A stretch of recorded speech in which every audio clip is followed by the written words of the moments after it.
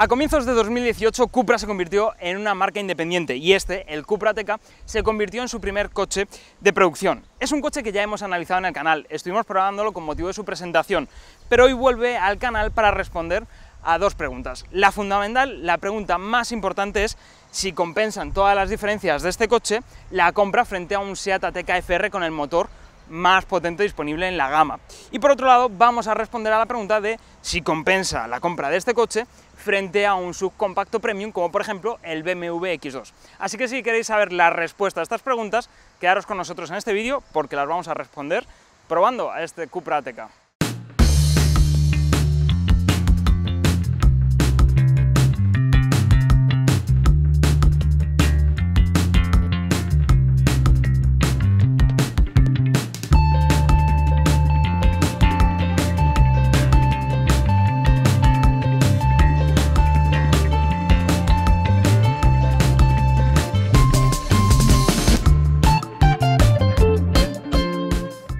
En lo que a estética se refiere hay que tener muy presente que el Cupra Ateca parte del Seat Ateca, entonces nos vamos a encontrar con muchas similitudes, pero también nos encontramos con importantes diferencias que marcan las distancias entre un modelo y otro.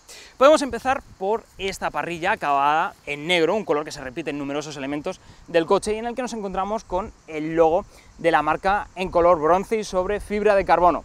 Además tenemos en la parte inferior un nuevo añadido en el que aparece grabado este Cupra aquí y donde tenemos también dos tomas laterales funcionales y con bastante presencia. Si vamos hacia su lateral nos encontramos con nuevos modelos de llantas, a destacar esta llanta opcional en color bronce, un color que es bastante representativo en la marca y que encaja a la perfección con el color gris de la carrocería de esta unidad. Para mí, el color predilecto para el Cupra Ateca. En la vista lateral sí es cierto que es donde menos diferencias nos encontramos, más allá de las llantas, más allá de las taloneas acabadas en negro, y si vamos a la zaga, para mí esta es mi zona favorita. Nos encontramos con un nuevo paragolpes y con estas cuatro salidas de escape. Unas salidas de escape que le dan bastante presencia y contundencia al conjunto y que nos deja con pues esa la principal diferencia con un SEAT Ateca normal. Sí es cierto que el coche se ve con más presencia, con eh, una presencia más fuerte, más contundente, pero obviamente, pues como os decía al principio, parte de un Seat Ateca y va a tener similitudes evidentes con el Seat Ateca. Es un poco lo que ocurre, perdonadme la comparación, entre Fiat y Abarth con el Fiat 500. Pero no sé, dejadme en los comentarios qué os parece a vosotros la estética del Cupra Ateca y si os parecen suficientes los cambios introducidos por Cupra en su visión de la Ateca. Aquí bajo el capó del Cupra Ateca está para mí la que es una de las principales diferencias que justifica la compra de este coche frente a un Seat Ateca FR. Permitidme que levante el capó de este coche.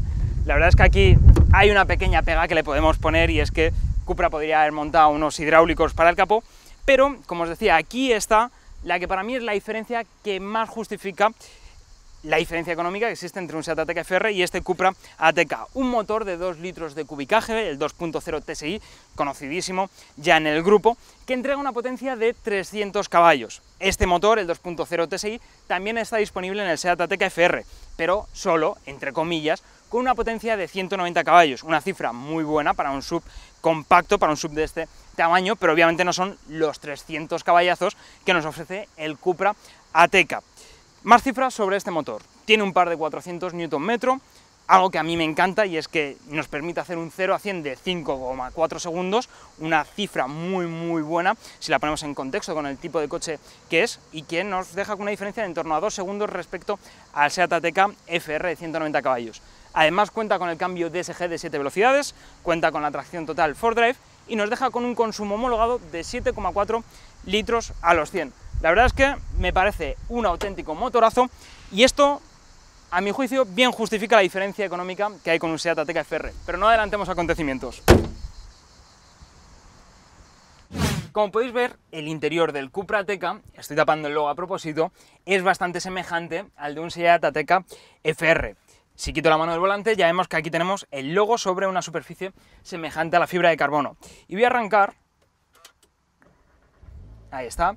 Para enseñaros también que toda la interfaz del sistema multimedia y de la instrumentación totalmente digital, que es de serie, también se ha modificado insertando ciertos detalles en color bronce, ciertos detalles en fibra de carbono, elementos en negro, muy acorde a toda esa imagen de marca que hemos visto también en el exterior.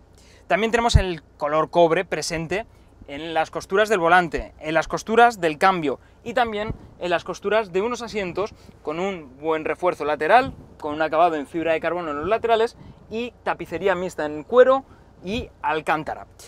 En general, pues como os decía, el diseño es bastante parejo al de un Seat Ateca FR, pero eso no es una mala noticia, porque el diseño del interior del Seat Ateca FR es bastante bueno y sobre todo tiene muy buenos detalles de acabado y de ajustes, además de equipamiento.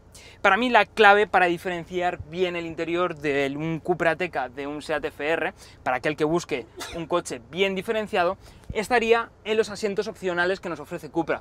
Esta unidad no los monta, pero por 1.660 euros adicionales tenemos unos asientos tipo bucket que le da a este interior pues, una presencia más deportiva y más diferenciada del Seat Ateca FR. Por último, también tenemos un detalle bastante curioso. Tenemos una llave diferenciada, una llave acabada en fibra de carbono con el logo de Cupra en la parte superior que se diferencia claramente de la llave de un SEAT. Este en este caso es de un SEAT eh, León, el de un SEAT Ateca es igual, pero como estáis viendo, la forma sí es la misma, pero esta está mucho mejor acabada en fibra de carbono y con el logo de Cupra.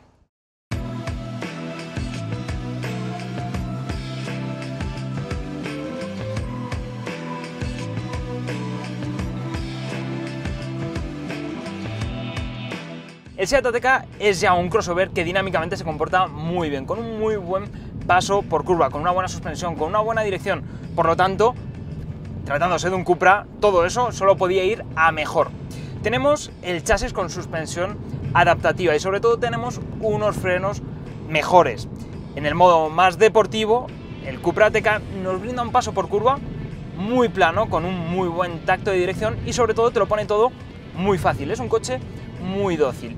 En curva, el Cupra Ateca es una gozada. De serie, este coche cuenta con unos frenos superiores a los de un SEAT Ateca y además a mayores de forma opcional podemos recurrir a unos frenos Brembo que son los que monta esta unidad. Son unos frenos muy eficaces, son unos frenos muy, muy dosificables y son unos frenos que en nuestra prueba en este tramo de montaña no han sufrido en ningún momento fatiga. Por lo tanto, teniendo en cuenta que el Seat Ateca ya es un coche que dinámicamente se comporta muy bien, la principal diferencia en movimiento con ambos coches llega por parte del motor, un motor que se siente muy muy muy enérgico, que se siente muy aprovechable en todo el régimen, que nos ofrece una grata sensación de aceleración, un el pedal del acelerador y tienes una gran sensación de empuje y además pues llega asociado a una tracción total que mejora aún más el paso por curva, te da aún más confianza y a un cambio automático pues al que le podemos poner pocas pegas. Un cambio DSG de 7 velocidades, cómodo y también efectivo en conducción deportiva. Por lo tanto, las diferencias principales entre este coche y el Seat Ateca las tenemos que achacar más que a su chasis, que ya es muy bueno en el Seat Ateca, a su motor. Un motor muy enérgico y que me encanta por lo utilizable que es tanto en conducción deportiva como en conducción normal. Y también tenemos que hablar de unos frenos más eficaces, que son pues la gran novedad en la puesta a punto de este, eh, del chasis del Cupra Ateca, y también, por supuesto, tenemos que hablar de sonido, un sistema de escape que llega, lo que más me ha gustado, sin artificios. Es un sonido de escape natural para un motor de 4 cilindros y de 300 caballos.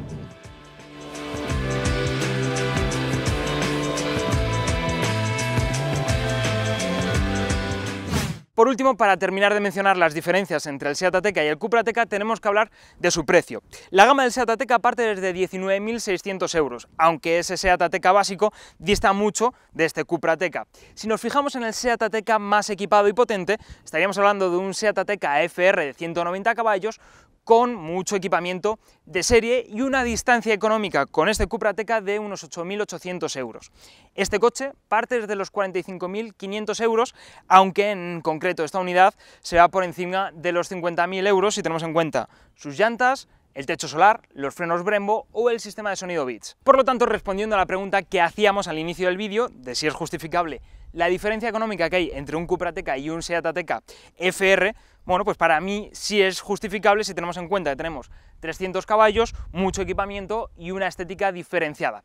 Pero yo creo que la conclusión es que el cliente de un Seat Ateca FR, aunque sea un FR, no es el cliente de este Cupra Teca, porque al final el cliente de este coche no solo busca deportividad, no solo busca un buen equipamiento, sino que también busca cierta distinción. Y eso se lo da, pues, no solo la estética, sino también el halo que envuelve a esta nueva marca, el halo que envuelve ahora a Cupra como marca independiente. Y respondiendo a la segunda pregunta que planteábamos al inicio del vídeo, ¿puede el cliente de un subcompacto premium interesarse por este Cupra Teca? Pues a mi juicio puede y debe hacerlo porque este coche es una compra más racional que ciertos sub del segmento C Premium. Por ejemplo, si nos fijamos en el BMW X2, nos vamos a encontrar con un precio de unos 43.300 euros para un X-Drive 20i, con 192 caballos y tracción total, pero sobre todo con un equipamiento muy inferior al que nos ofrece este Cupra Teca, además de la diferencia de potencia, que es notable. También, por ejemplo, nos podemos fijar en el Range Rover Evoque, con un precio de unos 49.000 euros para la versión de 200 caballos. De nuevo, una diferencia notable de potencia y también de equipamiento, así que para mí esta es una compra muy interesante si estás buscando un subcompacto premium, por diseño, por potencia, por su tracción total, por el cambio automático y por el equipamiento y el ajuste de su habitáculo. Si os ha gustado esta prueba, no os olvidéis de darle a like, suscribiros al canal y activad las notificaciones. Y por supuesto, no os perdáis nuestra guía de compra de subcompactos para conocer todas las alternativas del segmento C. Espero que os haya gustado el vídeo y nos vemos en próximas publicaciones. ¡Hasta luego!